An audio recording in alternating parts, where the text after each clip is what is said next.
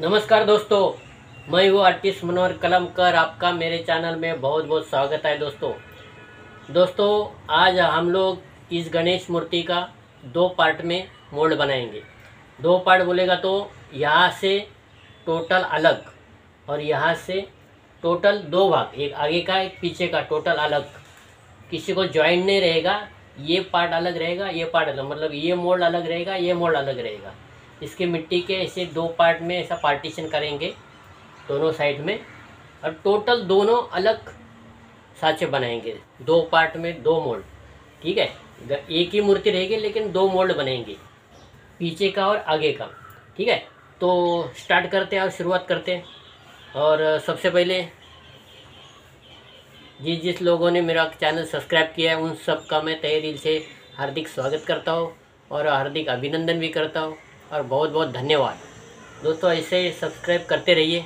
आपको नए नए कुछ वीडियो देखने को मिलेंगे, नए सीखने को मिलेंगे। तो चलो अपन शुरुआत करते हैं। दो पार्ट का मोल्ड बनाते हैं। अच्छा दो पार्ट मोल्ड बनाने के लिए अपने को क्या लगेगा? आज अपन ये यूज़ करेंगे लेटेक्स रबर लेटेक्स रबर आज अपन इसको ऊपर यूज़ करेंगे। सिलिकॉन रबर का मोल्ड नहीं बनाएँगे। लेटेक्स रबर का मोल्ड बनाएँगे। तो आज लेटेक्स रबर एकदम पतला रहता है, पानी जैसा रहता है। कुछ काले रहते तो कुछ सफ़ेद रहते, कुछ अलग अलग कलर के रहते, तीन चार कलर के रहते लेटेक्स रबर तो अपन आज ये दूध जैसा जो लेटेक्स रबर है वाइट वाला मतलब ऑफ़ वाइट है, उसका यूज़ करेंगे और मोल्ड बनाएँगे। तो चलो अपन शुरुआत करते हैं। पहले इसके दो पार्ट में मिट्टी के पार्ट दो पार्ट करते हैं। पार्टीशन बनाते हैं दो पार्ट में। उसके बाद बनेगा मोल्ड तो दोस्तों, ये मूर्ति के ऊपर आज हम लेटेस्ट का मोल्ड बनाएँगे और उसके लिए लेटेस्ट रबर लगेगा और साइड में मिट्टी का दो पार्ट बनने के लिए मिट्टी लगेगी। तो अभी इसके ऊपर अपन मिट्टी का दो पार्ट में उसको कन्वर्ट कर देते हैं और उसके बाद लेटेस्ट रबर चढ़ाएँगे।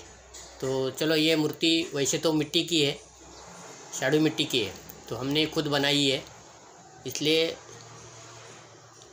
आपको ये फ्रेश लग रही है। तो चलो शुरुआत करते हैं। दोस्तों, अभी इस टाइप का मिट्टी का पट्टी बना के लिए है अभी ये इस टाइप लगेगा इधर। ऐसा ऐसा लगा लगा के इसका दो पार्ट बनाएगा।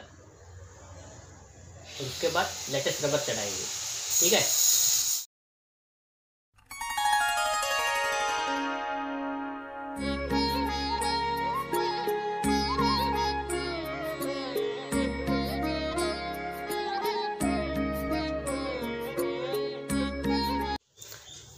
दोस्तों, अपना ये पार्ट वन और पार्ट टू ये पार्टीशन हो गया अभी मिट्टी का और ये विभाजन भी हो गया। एक इस तरफ़ और एक पीछे की तरफ़। तो ये अलग बनेगा और ये अलग बनेगा टोटल ठीक है?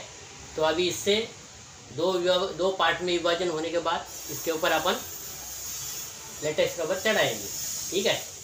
तो चलो अभी इसके ऊपर शुरुआत करते हैं लेटेस्ट रबर चढ़ाने की। तो चलो अभी शुरू करते हैं लेटेक्स रबर लगाने के। ये देखो, इस टाइप का लेटेक्स रबर है। देखो, इतना पतला है।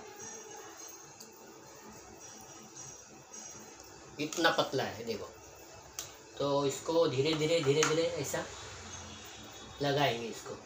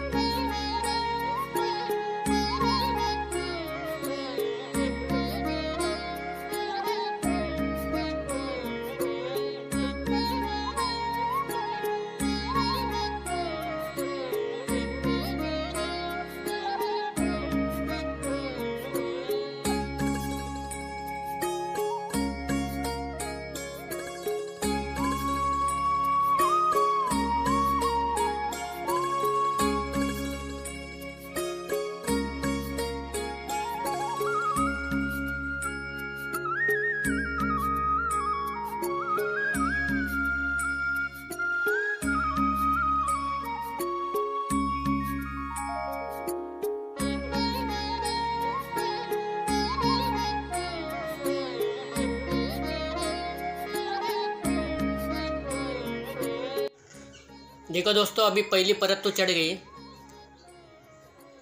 ऐसे कम से कम आठ, नौ या दस बारह अपन चढ़ाएँगे इसके ऊपर, तब दो मज़बूत हो जाएगा। ठीक है? तो धीरे धीरे धीरे जैसा सूखेगा, वैसा उसके ऊपर परत दर परत हम चढ़ाते रहेंगे। इसी तरह इसको मज़बूत करते रहेंगे। जितना ज़्यादा मारेंगे, उतना ये मज़बूत होता जाएगा। ठीक है? क्योंकि ये बहुत पतला रहता है, इसलिए इसको ज़्यादा परत चढ़ानी पड़ती है। तो अपन इसको धीरे धीरे इसको मारते रहेंगे। तो दोस्तों, अपना पहला परत तो सूख गया है। अभी इसके ऊपर दूसरा परत अपन चढ़ाएँगे। लगभग सूख गया है। मैं आपको एक दो दिखा सकता हूँ, क्योंकि सात, आठ या दस, बारह अगर मारेंगे, अगर इतना हर हर परत अगर आपको दिखाने जाएगा तो बहुत वीडियो लंबा हो जाएगा। इसलिए मैंने खाली दो परत दिखाता हूँ, उसके बीच में दो तीन परत और मैं चढ़ाऊँगा, उसके बाद आपको और एक दिखाऊँगा। ठीक है? ऐसा और बाद में एक लास्ट वाला दिखाऊँ। तो ऐसा करके आपको ये पूरा करना है। तो चलो अभी ये दूसरा परत इसके ऊपर चढ़ा देते हैं। अभी हम कपास से चढ़ाएँगे। ये जो कपास है, इससे ऐसा डूबो के इसके ऊपर देखो इस टाइप का ऐसा मारते जाएँगे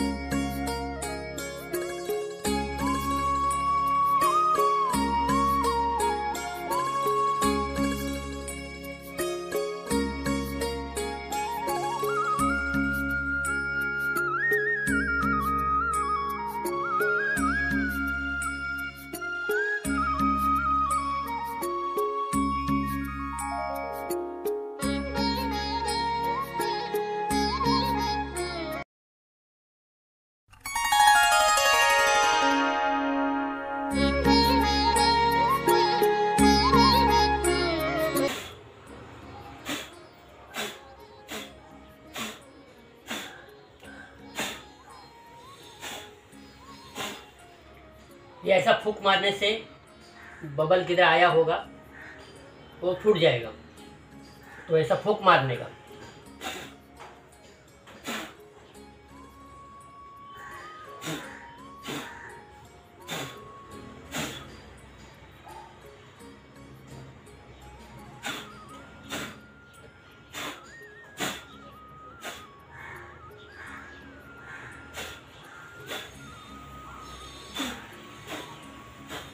ऐसा फूक मारेंगे तो छोटा छोटा बबल होता है ना, छोटा बबल पूरा फूट जाएगा।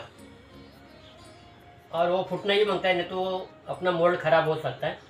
ऐसा ही रह गया तो ठीक है, अभी दूसरा हाथ चढ़ा दिया है, दूसरी लेयर चढ़ा दी है।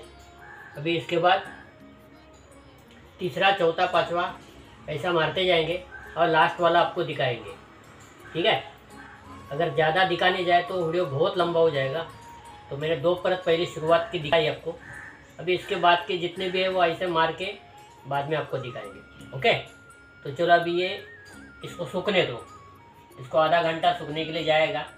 आधा घंटे में परफेक्ट सूख जाता है, क्योंकि पानी जैसा है ना, थोड़ा पानी के हिसाब से वो सूख जाता है। और पानी में भी मिक्स होता है। इसके लिए कोई अलग केमिकल नहीं लगता है। लेटेक्स अगर ये पानी में आप हाथ धो सकते हैं। जो मेरा हाथ को लगा है ना ये मैं पानी से भी धो सकता हूँ। तो कोई टेंशन नहीं इसका। खाली स्मेल थोड़ा सा अलग आता है। बास इसका अलग आता है। तो वो इस खाली आपको अगर अब ठीक है, आपको अगर ठीक नहीं लगा तो थोड़ा नाक में कुछ कपड़ा बाँध दो या मास्क बाँध। दो लेकिन हम लोगों की आदत पड़ गई कि ये सब करने की तो कोई टेंशन की बात नहीं रहती है। तो चलो अभी इसको सूखने दो। तो दोस्तों अभी इसको बैंडेज काट के लेते हैं। इसके ऊपर बैंडेज लगाना है। अभी इसके ऊपर हो गए सात आठ परत इसके ऊपर चढ़ा दिए अभी इसके ऊपर और एक चढ़ेगा, नौवीं परत चढ़ेगी, उसके बाद ये बैंडेज लगेगा। तो बैंडेज का टुकड़ा करके हम लोग अभी लेते हैं। ये ऐसा काट काट के छोटा छोटा इसको चिपकाएँगे बाद में।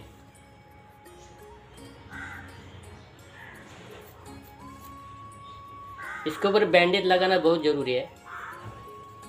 क्योंकि ये बहुत पतला रहता है ना, रबर। तो बैंडेज का सपोर्ट रहेगा इसके ऊपर। तो ठीक है, ये ऐसा पूरा बैंडेज अभी काट के रेडी हो गया है। छोटा छोटा टुकड़ा करके काटा है इसको। चलो, अभी बैंडेज तो हो गया बैंडेज काट के हो गया। अभी इसके ऊपर और एक रबर का हाथ चढ़ाते और दोस्तों, क्या मालूम है, जैसा ये रबर अपन इसके ऊपर चढ़ाएँगे ना तो जब ये घिला रहेगा ना खिला तभी ताबड़तोड़ ये कपड़े का जो बैंडेज है, जैसा ही ये घिला रहेगा ना, ताबड़तोड़ कपड़े का ये बैंडेज इसके ऊपर चिपका देने का ऐसा। तो ये चिपक जाएगा। अगर ये सूखने के बाद आप चिपकाएँगे ना तो सूखेगा। देखो, अब ये सूखा है ना, लगाएगा ना तो चिपकेगा नहीं, ये ऐसा उड़ जाएगा। जब प्रॉपर चिपकाने के लिए, जब ये घिला रहेगा तब इसके ऊपर चिपका दो, ठीक है? तो अभी इसको रबर चढ़ाते हैं। इसके ऊपर पहले हो गया है, कम से कम सात आठ लेयर लगाइए। अब ये नौवा लेयर लगा रहा हो, उसके बाद अपन बैंडेज करेंगे, ठीक है?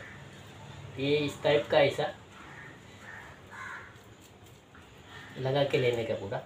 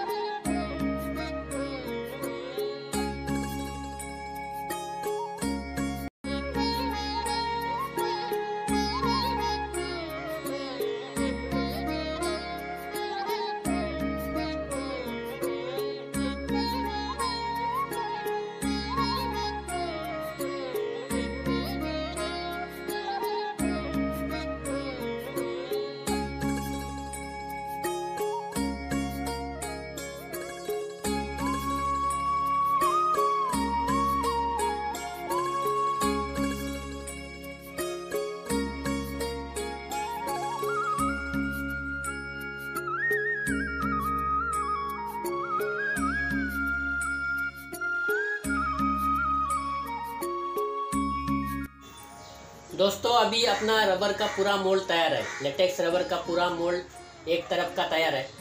अभी इसके ऊपर रेजिन का मोल्ड बनाएँगे ताकि इसको मज़बूत सपोर्ट रहेगा।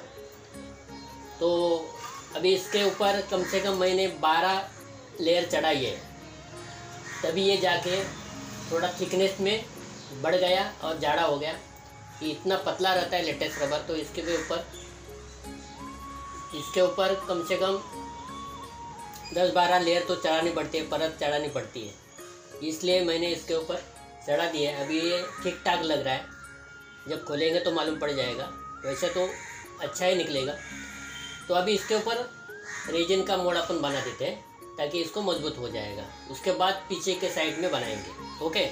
तो सेम प्रोसीजर रहेगा। उसके लिए दूसरा वीडियो बनने की ज़रूरत नहीं। सेम यही, जैसा ये सामने वाला बनाया वैसा ही पीछे वाला भी बनेगा। तो आप समझ जाइए। तो इसी टाइप का आप पीछे भी बना सकते हैं। ठीक है? तो अभी ये रीजन का इसके ऊपर मोल्ड बना देता हूँ, आपको दिखा देता हूँ। ठीक है? चलो।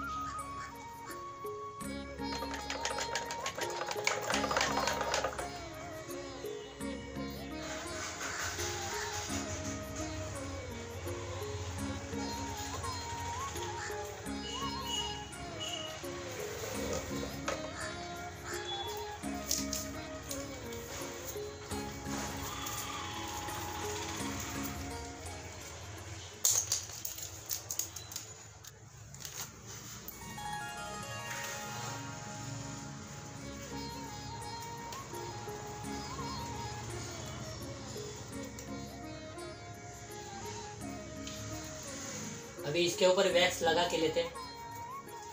थोड़ा वैक्स लगाना पड़ेगा। तो अगर वैक्स नहीं लगाएँगे मोड रिलीज़ वैक्स रहता है। ये रिलीज़ नहीं करेगा। इसको चिपक के रहेगा, इसलिए इसको मोल्ड रिलीज़ वैक्स लगाना ही पड़ता है। तो हल्का हल्का आप सब जगह लगा के ले लीजिए। खास करके ये ये जो अंदर जो गड्ढे हैं, उसके अंदर लगाना चाहिए।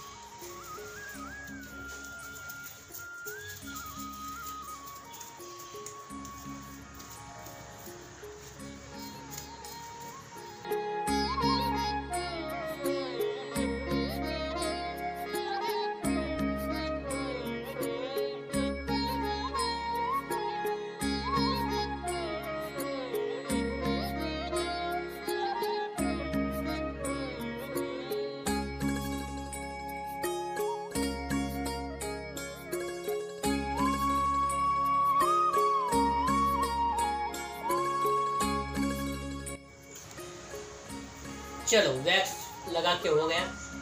अभी इसके ऊपर पैकिंग करेंगे। पैकिंग क्या होती है?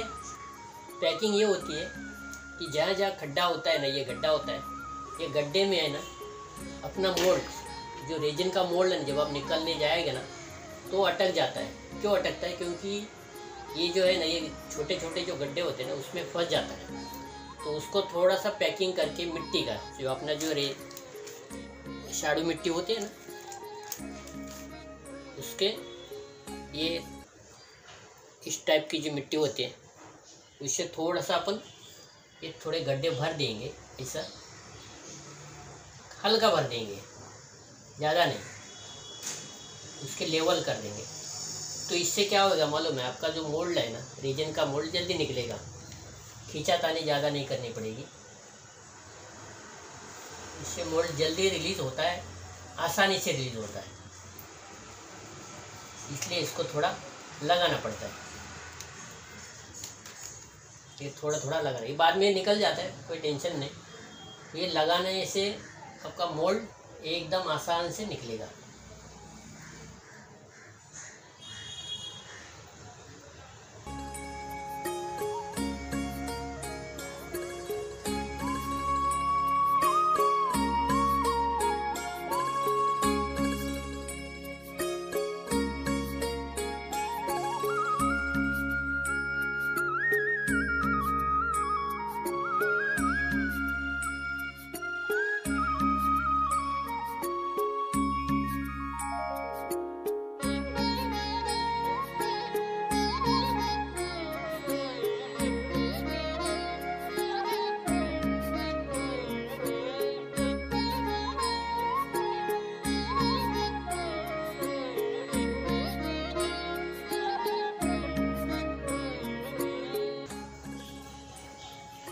चलो अभी कोबाल्ट मिक्स वाला रेजिन लेते हैं और इसके अंदर हार्डनर डाल के।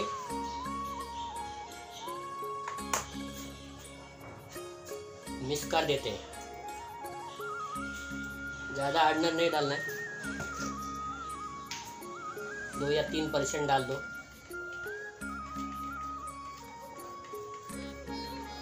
इससे पहले मैंने बहुत बार आपको दिखाया है कि हार्डनर कितना डालना है। कितना रेजिन लेना है, कितना कोबाल्ट लेना है, ये सारी डिटेल हमने इससे पहले आपको बहुत बार दिया है। तीन चार वीडियो मेरा ऐसा ही है, पूरा डिटेल है उसके अंदर। तो आप जाके देख सकते हैं।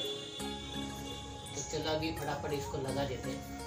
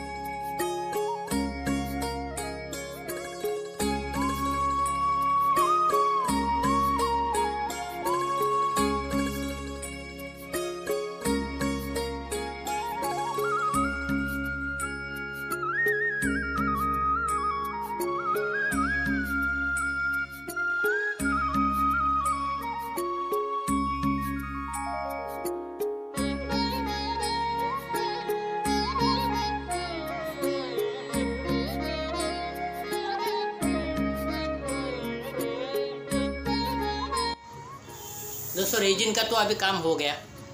रेजिन इसके ऊपर चढ़ा दिया और मैट भी चढ़ा दिया। मैट के ऊपर रेजिन मार दिया अभी। अभी अभी पूरा मूर्ति रेडी है, मोल्ड भी रेडी है, दोनों रेडी है। एक लेटेक्स रबर का मोल्ड और रेजिन का मोल्ड, दोनों रेडी है। अभी इसके ऊपर थोड़ा सा और एक हाथ मारेंगे तो फाइनल हो जाएगा। ठीक है? तो इसी तरह ये उसके पीछे वाला भी बनेगा। ठीक है? तो ऐसा ही सेम पीछे भी बना दो। अब भी बना सकते हैं। तो चलो अभी इसको सूखने देते इसके बाद उसके ऊपर लास्ट फाइनल हाथ मारेंगे। ये रेडी हो जाएगा। चलो अभी फाइनल हाथ मार देते हैं रेजिन का इसके ऊपर। तो तैयार हो जाएगा। तो अभी फाइनल हाथ मार देते हैं रेजिन का। तो पूरा मोल्ड तैयार हो जाएगा, ठीक है? दोनों मोल्ड तैयार हो जाएँगे। तो उसके बाद पीछे वाला करेंगे। तो चलो अभी कर देते हैं इसका फाइनल हाथ। मार देते हैं।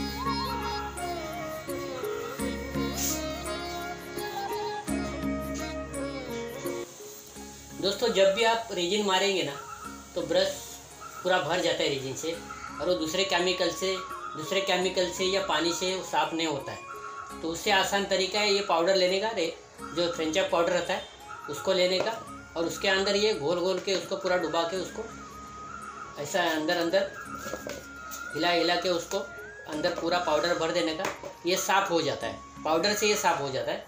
बाकी कोई तरीका नहीं है कि इसको ब्रश के साफ़ करने का। ठीक है रेजिन का कोई तरीका नहीं है। जैसा ही रेजिन से भर जाएगा तो सीधा पाउडर में इसको मिला दो, ऐसा, और हिला दो ज़ोर से, उसके अंदर पूरा पाउडर घुसा दो, ये साफ़ हो जाएगा। ये जो ट्रिक है, ये आप ध्यान में रखिए।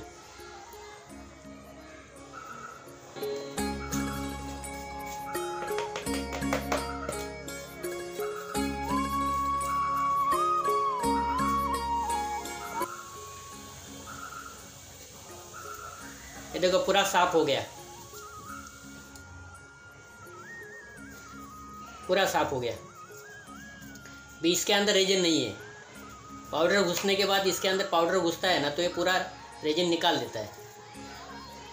पूरा साफ़ हो जाता है, ठीक है? तो आप इस, इसी तरह आप भी साफ़ कर लो ब्रश